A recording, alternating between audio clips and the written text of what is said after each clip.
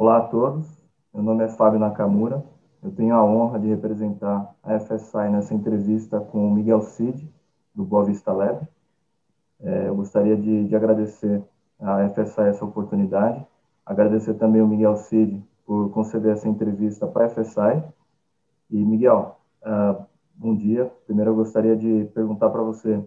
sobre o seu background acadêmico e também como ex-atleta uh, do clube e que você também falasse sobre o seu papel hoje dentro do Boa Vista. Bom dia. Antes de mais, eh, agradeço eu a oportunidade de estar aqui a, ser entrevistado para, pelo professor e, e, e, pela FSI, como, como é claro. Relativamente à questão eh, relativa ao meu background e, e quais as minhas funções no clube, portanto, o meu background académico, eu, eu provenho da, das ciências do desporto, uh, mais comum falando da, da, da área da, da, educação física, aqui em Portugal. Cheguei a iniciar também, uh, além da licenciatura em ciências do desporto, a licenciatura em fisiologia clínica, porém uh, eu iniciei enquanto ainda, ainda jogava e, e eu, aos 26 anos, terminei a minha carreira depois foi-me feito um convite para exercer a função de, de team manager uh, na equipa principal do, do Boa Vista, que é a função que hoje atualmente desempenho, mas derivado desse mesmo meu background nas ciências do desporto e na parte da, da fisiologia clínica, uh, foi a par da profissão que desempenho hoje de, de team manager uh, e, e, que, e que adiciono um, o cargo de, de diretor-geral ou coordenador do, do, do Boa Vista Lab, no, no, caso. Portanto, assim, resumidamente, eu sou ex-jogador profissional do, do, clube. Enquanto era jogador profissional, eh, fui estudante também, a parte das ciências do desporto e a parte da fisiologia clínica. Entretanto, foi-me feito um convite pela nova, pela nova direção, que entrou em vigor pelo presidente Dr. Vitor Murta, e foi então que terminei a minha carreira como, como, como futebolista e iniciei esta parte no, no, dirigismo e que agora, sensivelmente há dois anos e meio, desempenho como team manager e que fui desenvolvendo aqui o projeto do Boa Vista Lab. Ótimo, Miguel. É, com relação ao Boa Vista Lab, a gente sabe que é um projeto muito interessante, que já foi implementado há alguns anos dentro do clube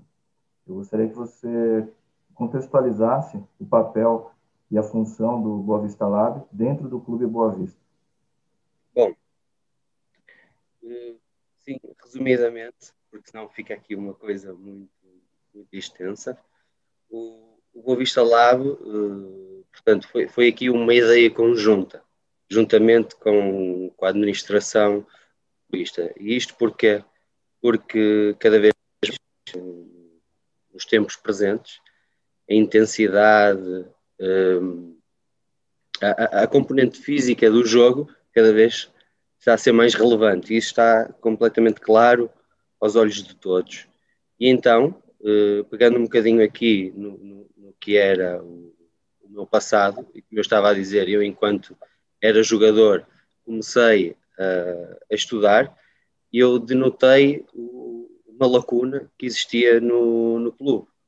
Portanto, nós tínhamos bons jogadores na parte da, da, da formação, bons jogadores técnico ou taticamente, porém, na parte física, eh, sentíamos que existia aqui uma, uma, uma discrepância do futebol de formação para o futebol profissional. E então, sendo Boa Vista um clube formador, um clube vendedor, ou seja, que tem um passado histórico no, no, no que respeita à, à, à, formação de jogadores e posteriormente à, à venda dos direitos desportivos do, do, dos mesmos, um, o Boa Vista Lab encaixou-se uh, nessa vertente precisamente para, para, para colmatar essa, essa, essa lacuna. E então, o Boa Vista Lab hoje é um projeto e um, um, um, espaço físico em si completamente um, auto, autossustentável. Portanto, temos aqui um projeto em que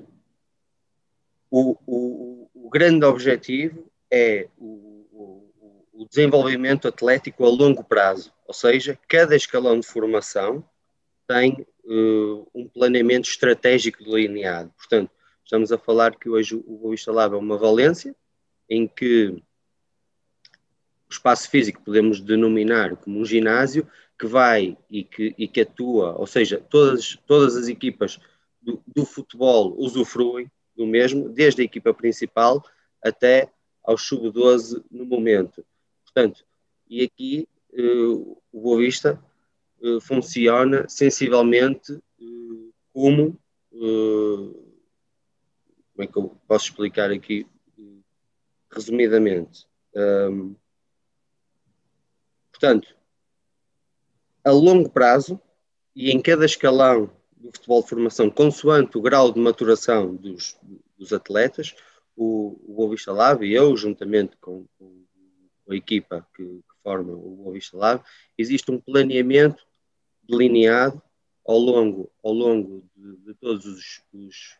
os escalões de, de, de, formação com vista no, no, no desenvolvimento atlético a, a, longo prazo, porque nós, enquanto clube, consideramos que, que os jogadores têm uma cultura de treino e, e, uma educação de base é absolutamente fundamental no, na constituição daquilo que nós achamos que é ou, ou, ou, ou, uma base enorme para, para um bom jogador profissional de futebol.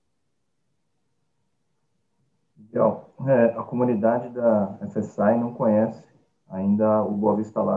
internamente. Eu acho que seria interessante você falar um pouco sobre a estrutura do lab, é, tanto a parte de espaço, é, como é que ele está organizado e constituído dentro do clube, quais são os equipamentos e tecnologias que vocês utilizam hoje, e até também a estrutura de recursos humanos, onde é, também existe até o objetivo de se realizar investigação científica. Muito bem, portanto, nós a nível de estrutura somos uma estrutura ainda pequena, uh, a nossa estrutura é constituída basicamente por mim, uh, enquanto diretor-geral e, e, que está mais à frente do projeto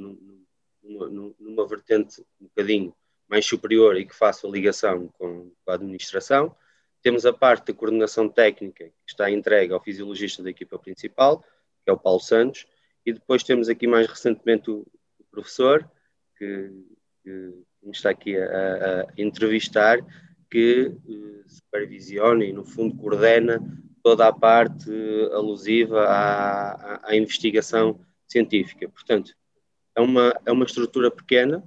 esta é a estrutura de base, é a estrutura mais sólida, mais sólida temos aqui os três, porém, nós temos, eh, ou seja, nós temos uma política em que uh, pretendemos potenciar o que temos dentro do clube. E o que é que é potenciar uh, o que temos dentro do clube? Ou seja, em cada escalão de formação, todos, todos os seus treinadores na equipa técnica têm alguém mais direcionado para, para, para a parte física. Portanto, eu a mim, enquanto coordenador de projeto, eu não me gostava nada fazer um, um protocolo como uma universidade e meter um fisiologista em cada equipa, mas essa não é o intuito do Boa Vista Lab. O Boa Vista Lab, acima de tudo, quer potenciar o que tem cá dentro. Então nós pegamos nessa, nessa, nessas mesmas equipas técnicas que já estão formadas e definidas por cada treinador no seu respectivo escalão e damos formação para quê? Para, para termos uma linha de pensamento uniforme e uma metodologia de trabalho de baixo para cima. Portanto, o professor fez, fez mais outras questões, relembro-me só que, entretanto... É, sobre a estrutura física, o que vocês têm dentro do Boa Vista Lab okay. que tem a preparação física desses jogadores? Relativamente a, a, às condições e, e, e, a nível, e a nível material, portanto, estamos a falar, o Boa Vista Lab é um espaço com sensivelmente 400 metros quadrados, em que está dividido fundamentalmente em três zonas. Portanto, temos a zona da força, onde temos as, as, as mais conhecidas racks é? Nós temos uma metodologia eh, que envolve os pesos livres, portanto, ou seja, temos essa zona eh, bem definida, portanto, temos eh, quatro racks duplas, ou seja, estão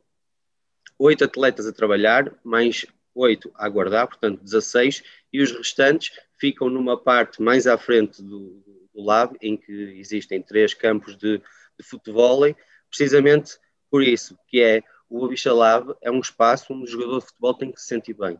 E se fosse um ginásio somente com, com, com, com um espaço para, para direcionado para a parte física e não tivesse algo que o chamasse e que pudesse até eh, melhorar a sua técnica, para nós não fazia tanto sentido. Precisamente por isso é que nós, além da parte da força, como eu estava a explicar, temos também uma pista de, de, de 40 metros e a seguir temos então os três campos de futebol, e que é ali um espaço mais, mais versátil e, e mais polivalente, onde eles podem eh, efetivamente jogar futebol, como também tem uma mesa de tecbol e até os mais novos, porque hoje em dia perdemos aqui e, e, agora uh, aqui o professor, como é proveniente do Brasil, perdeu-se aqui o, o, futebol de rua, portanto o Boa Vista Lab, além de desenvolver a parte das, quali das qualidades físicas por si, também dá e tem um espaço que onde os, onde os jogadores mais novos, por exemplo, que há, há bocadinho estamos a falar do sub-12, podem eh, melhorar efetivamente a sua técnica individual. Portanto, três zonas completamente distintas. A zona da, da, da força, temos a pista mais para a parte do condicionamento e depois temos uh, os três campos de futebol, por assim dizer, que é uma zona mais, mais, mais lúdica e que no fundo serve para atraí-los e eles já que estão dentro do espaço, então consegue-se desenvolver o trabalho com, com todos os atletas uh, mais direcionado então para a vertente das qualidades físicas. Miguel, uh, o Boa Vista Lab é um projeto relativamente recente, uh, já conseguiu uh, uma série de conquistas dentro do clube, tem contribuído para o crescimento do clube mas quais são os objetivos daqui para frente? No futuro, como é que você enxerga a participação do Bovista Lab dentro do próprio Clube Boa Vista? Ok. Muito bem. Portanto, o Boa Vista Lab iniciou como um projeto e como um espaço físico direcionado, ou seja, no fundo, como um departamento de ciências do desporto. Hoje em dia, o espectro está mais alargado. Nós hoje por exemplo, já oferecemos algum tipo de formação, por exemplo, na, na, na análise e, e, observação, e podemos aqui já uh, confidenciar diretamente aqui para, para a FSI que no nosso prisma, uh, como nós pretendemos desenvolver uma, uma, uma, uma, parte científica e pretendemos ter sempre estudos, estudos em andamento e, e, e contribuir para para o aprofundado conhecimento da modalidade no futebol, mas como sabemos, uh, estando nós numa equipa como a Boa Vista, em que todos os seus escalões estão a competir, no fundo, para quem quer ter uma atividade científica muito grande, até o, o futebol poderia se tornar um bocadinho redutor. Portanto, o Boa Vista Lab, que nasceu de um, de um, de um espaço, daquilo que podemos chamar ginásio, que hoje alcança desde o, da equipa principal aos sub-12 no futebol de formação, hoje em dia vamos estender o Avista Lab também às outras 28 modalidades do, do, Boa Vista. Ou seja, não estamos a falar só de futebol, está a ser eh, requalificado um novo espaço onde iremos também eh, abordar o desenvolvimento das qualidades físicas, não só no futebol, mas nas restantes modalidades eh, no clube. Estamos aqui a falar de uh, handball, voleibol, futebol feminino, futsal, ginástica, esgrima e, e, entre, entre muitas outras. Portanto, o Boa Vista Lab, que nasceu, no fundo, basicamente direcionado para o futebol de formação e para o futebol profissional, hoje em dia é um projeto que consegue alcançar todas as outras modalidades do, do Boa Vista Futebol Clube. Boa Vista Futebol Clube e o Boa Vista Lab assinaram recentemente um acordo de cooperação com a FSI. É um acordo bastante amplo, em que se prevê uma série de atividades para os próximos anos. E qual é a sua opinião hoje sobre a FSI? Porque eu sei que você também é, vem participando e vem assistindo o curso da, da FSI, mas a FSI também tem outras atividades científicas, né? Qual é, qual é a sua visão hoje sobre a FSI como parceiro? FSI acho que, que, que, nos veio acrescentar aqui uma componente que eu acho fulcral e que, e que eu acho que é o grande gap que existe entre a universidade e o mundo real, que é, estamos a falar de que quem tem acesso aqui ao, ao, ao curso da FSI, quem tem acesso ao curso do FSI, maioritariamente e, e exclusivamente são o staff da equipa principal, ou seja, além de nos permitir estar na vanguarda do que é que está a ser desenvolvido e do que é que está a ser estudado na, na, na modalidade do futebol, acima de tudo permite com que a gente retire uma grande aplicabilidade prática de, de tudo o que nos é transmitido no curso. Portanto, é extremamente importante e, é, e, é, e está a ser extremamente benéfico tudo aquilo que, que, que, nós estamos a retirar. Eu falo por mim, mas com certeza todas as pessoas que estão envolvidas aqui no, no projeto com a, com a FSA e eu tenho uh, retirado os feedbacks da, da, das pessoas que, que, que aderiram ao curso, está a ser extremamente produtivo e estamos a falar que o staff em que, em que, que aderiu aqui ao curso, estamos a falar aqui de uma equipa multidisciplinar em que a FSI contribui para que a gente tenha um pensamento uniforme. Estamos a falar de eu, enquanto team manager e, e um, coordenador ou diretor-geral do Boa Vista Lab, estamos a falar do médico da equipa principal, estamos a falar do fisioterapeuta, do nutricionista, do fisiologista e de um enfermeiro. Portanto, todo, todo o staff que acompanha diariamente um jogador, e seja esta na parte mais do dirigismo, do dirigismo até à parte mais técnica, envolvendo todo o departamento médico, conseguimos, através do FSI, perceber aqui uma linha de pensamento uniforme e atuarmos e percebemos a importância de, de, de, de todo este desenvolvimento académico ou barra científico, que é extremamente importante no futebol e que é bom que todo, todo o, corpo técnico e que todo o staff que esteja envolvido tenha, tenha noção disso e que pensemos todos e atuemos todos numa linha de pensamento uniforme. Excelente. Então, eu acho que a, o papel também da, da, da FSI hoje é uniformizar o conhecimento e fazer com que os profissionais possam falar exatamente a mesma linguagem, ter uma compreensão comum sobre a organização do, das atividades no futebol. É, Miguel, em relação a, aos estagiários. Né? Existe agora uma expectativa, se a situação da Covid é, for melhorando, e a gente espera que isso melhore com o tempo, é, os estagiários podem ter até atividades presenciais é, dentro do, do clube. Significa que estudantes dos cursos da, da FSI vão poder participar de alguns projetos e observar alguns projetos de investigação dentro da FSI. Como é que você enxerga é, a, o papel desses desses estagiários uh, dentro do, do clube, o que, que eles vão poder é,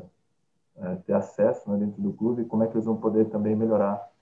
as suas capacidades dentro do, do Boa Vista Lab. Bom, eu,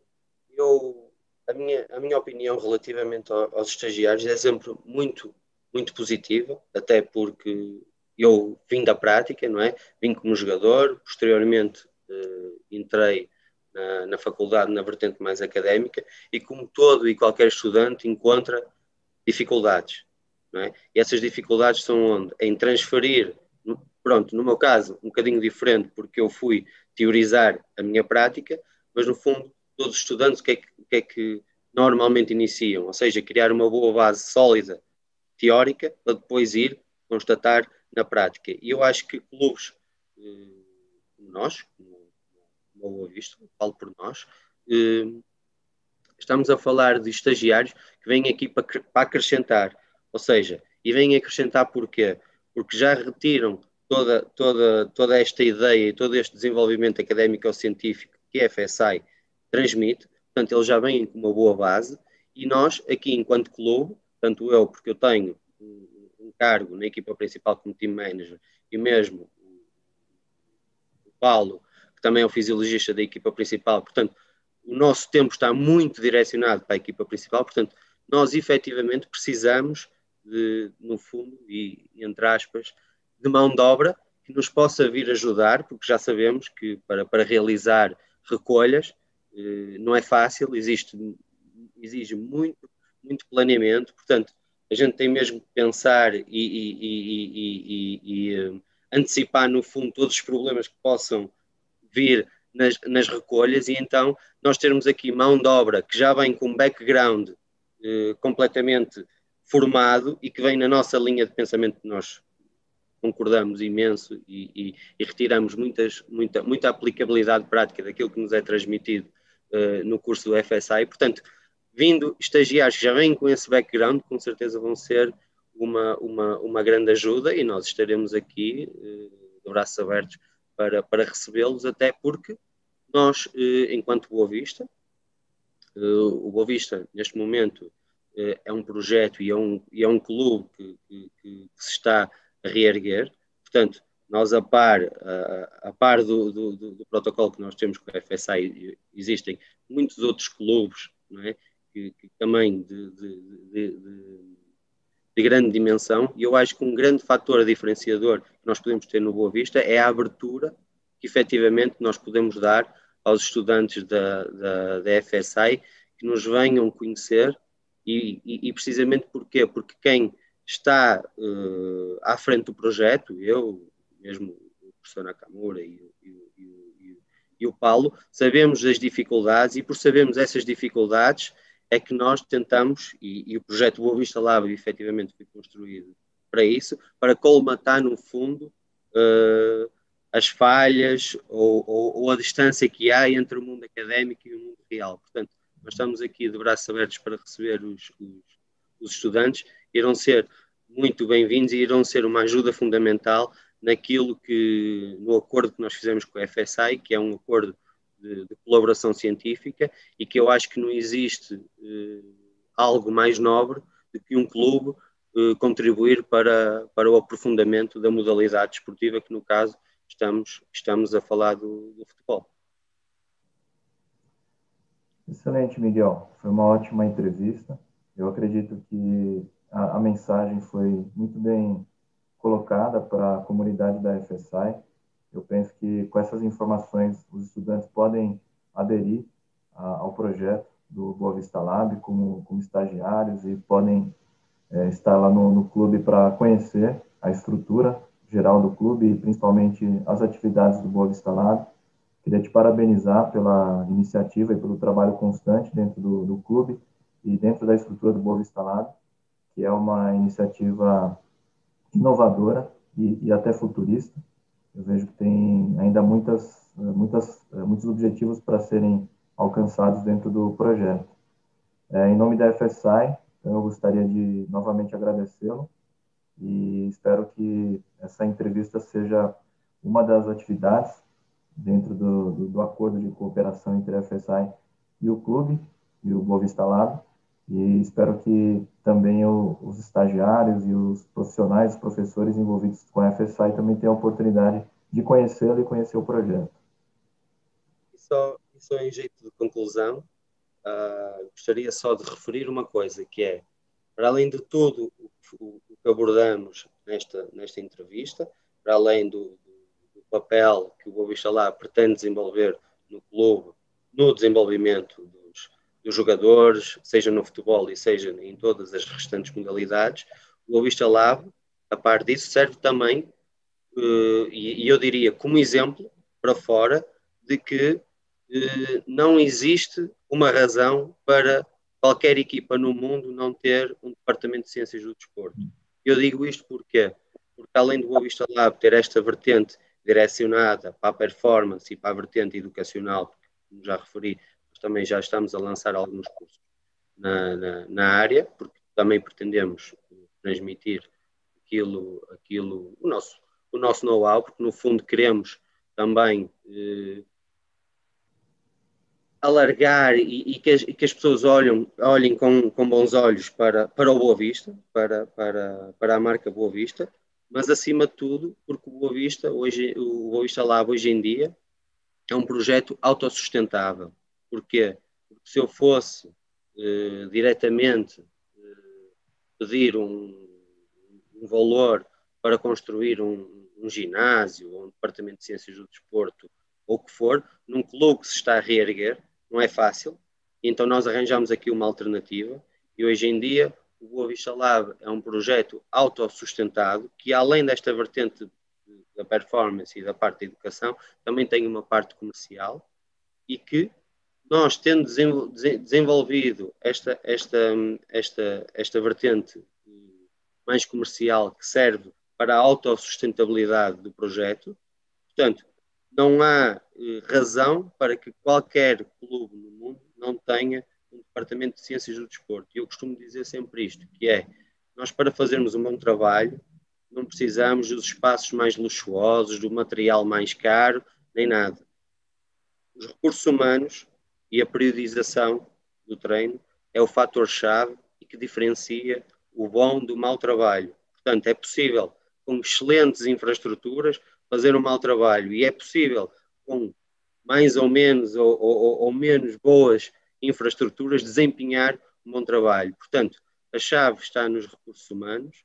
e como a chave está nos recursos humanos é que esta parceria foi, foi feita para quê? Para que todos os nossos profissionais estejam na vanguarda do conhecimento e daquilo que é desenvolvido, desenvolvido na ciência atual dentro do futebol, para quê? Para capacitá-los mais e se os nossos recursos humanos automaticamente estão mais, capacidade, mais capacitados, muito mais vão dar à estrutura e muito mais engrandecidos iremos sair todos. Portanto, agradecer imenso esta oportunidade de ter esta, esta entrevista com o FSI, com, com, com o professor e que isto seja o início de, um, de uma grande colaboração que eu tenho a certeza absoluta que vai ser. Obrigado, Miguel. A gente encerra aqui a, a entrevista e desejamos boa sorte para você e para o clube dentro desse projeto inovador. Muito obrigado.